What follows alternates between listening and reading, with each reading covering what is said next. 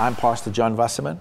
We're right next to OR Tambo Airport if you ever want to visit us, but otherwise, you can follow us here on social media. But I've just been sharing a little bit about saved by grace.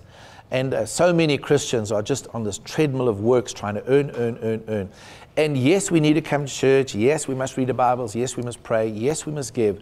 But the way it's so taught, or we have caught it that way, is that we do all those things to try and be right with God.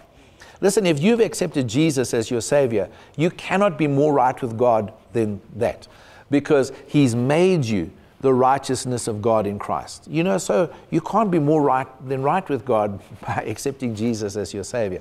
And Paul tells us this in this book of Romans. What an incredible book, my favorite in the Bible. Well, next to Hebrews.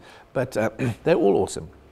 But Paul tells us that, that if, we, we, if we work for something, then it becomes a wage and then it ceases to be a gift. So you can't earn salvation. You either work for it or you accept it as a gift. You know, it's a little bit of a difference between the Christmas tree and the apple tree.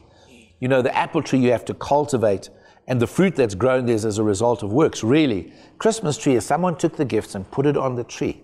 And so the comparison that I want to bring you is what Paul spoke about in Romans chapter 5. He spoke about Adam and he spoke about Jesus. Jesus is the second Adam uh, Adam is the first man and Jesus the last man of that particular line of men in whom sin was present.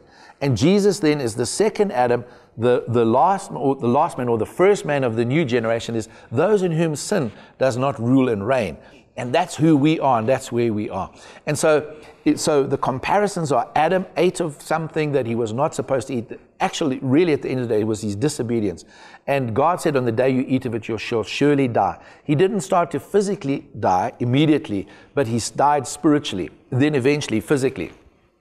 Jesus came along and in, not in a garden, but in a wilderness. He obeyed God. He, he successfully overcame the same temptations that Adam did, and he lived. And so he becomes the life giving spirit for us to live. And not in a garden, in a wilderness. Jesus overcame the, the devil. And so, so Adam is a picture of what our lives were like before Jesus. Jesus is the picture of what our lives are like since we accepted Jesus. And Jesus, the Bible tells us, has the power of an indestructible life in the book of Hebrews. So, which means that in Adam, we are natural, we are, we are in death. But in Christ, we are not natural, we are supernatural. And we are not in death, we've passed from death to life. We live forevermore. I'm so grateful that you've been watching this particular series and really would not like you to miss out on anything. So, here it goes. Please like us on our Facebook page and then follow us on Twitter and SoundCloud.